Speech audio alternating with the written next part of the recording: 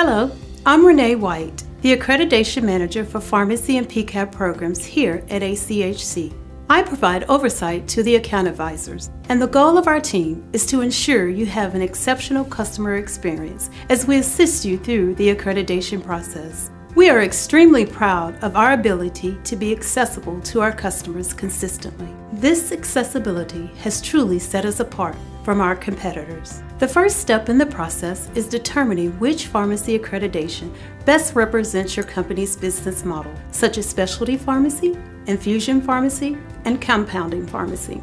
Once that is determined, you will submit your application on our website known as Customer Central. Customer Central is an easy to use interface that allows our customers to submit their applications directly to the account service team. The account service representative will validate the application and assist you through executing your contract with ACHC. The representative will then transition your pharmacy to the assigned account advisor, who is there to assist you through every step of the accreditation process, from assistance with your initial required documentation to ensuring you have downloaded the standards and requirements and to answer any questions you may have. The objective is to confirm that each pharmacy is ready for survey.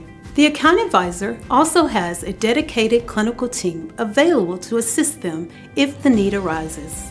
The account advisor will conduct a pre survey call to re verify services and to explain what to expect on survey. After the pre survey call is completed, your pharmacy is ready for scheduling. Depending on the services selected, most pharmacy surveys are unannounced. There is some flexibility on specialty pharmacy surveys. If your pharmacy does not bill Medicare for DMEPOS products, these surveys may be announced. All surveys are scheduled within 6 to 12 weeks from your compliance readiness date. After the survey is completed, the results are tabulated and sent to our clinical review team. The team will complete the review and determine the outcome of the survey. The account advisor will notify you of the accreditation decision and, if needed, assist you through the plan of correction process. As you have heard, the account advisor plays a key role in helping our customers through the accreditation process. We are here to assist our customers in any way we can. I am certain that you will have an outstanding experience with ACHC.